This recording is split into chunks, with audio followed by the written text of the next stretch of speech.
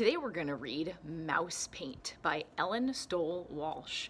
This book is also going to be in our library, so when we come on back and we get to take library books out, you can look for this and bring it home. Mouse Paint. This is one of my favorite books about colors. Mouse Paint, Ellen Stoll Walsh.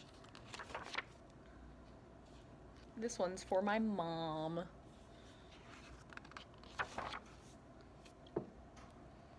Once there were three white mice on a white piece of paper. The cat couldn't find them.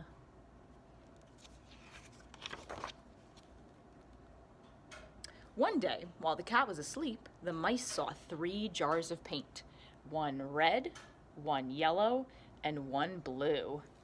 Primary colors. They thought it was mouse paint. They climbed right in. Then one was red, one was yellow, and one was blue. They dripped puddles of paint onto the paper. The puddles looked like fun.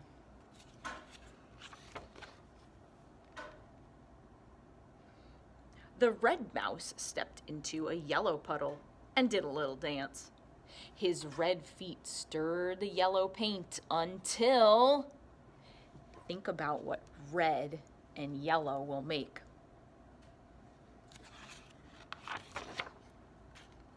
Look, he cried.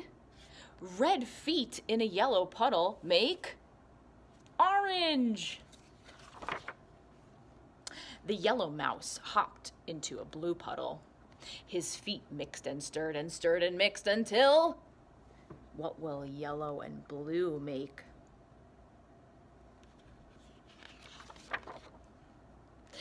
Look down, said the red mouse and the blue mouse. Yellow feet in a blue puddle make green.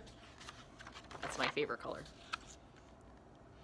Then the blue mouse jumped into a red puddle. He splashed and mixed and danced until.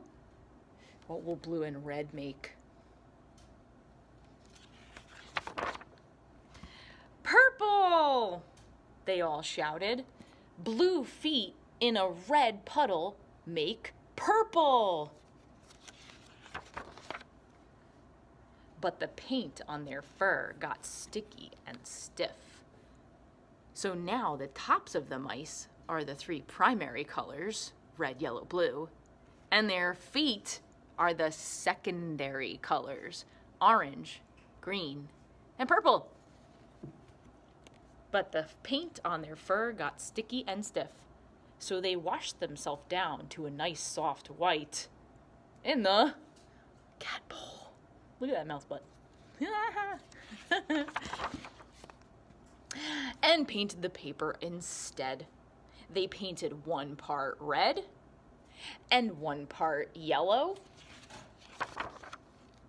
and one part blue.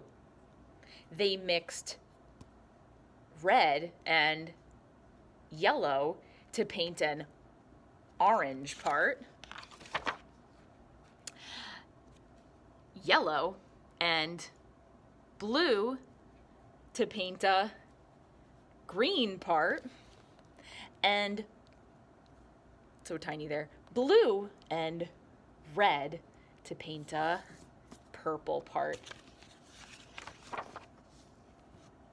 But they left some white because of the cat.